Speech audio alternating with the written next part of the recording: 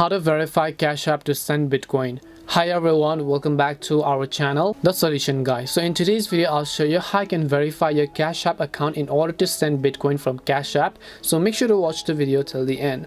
Now in order to send and receive Bitcoin in Cash App, you first have to verify your Cash App account and identity. So to do that, first of all, just open the Cash App. Make sure you're under the Bitcoin and Investing tab. Make sure you're under Bitcoin tab and then here you'll find all this. Here you'll find a little arrow icon or the DMs icon. You just want to make sure to tap on that option as you tap on that option, you'll have this option called send and receive, but you'll also find the option called enable from the bottom. It means that we have to enable this feature. So to enable it, just tap on enable option. It'll ask you a few more details about you to verify your identity. So just tap on the continue button from the bottom. It'll ask you to verify your identity with a driver's license or state ID to continue.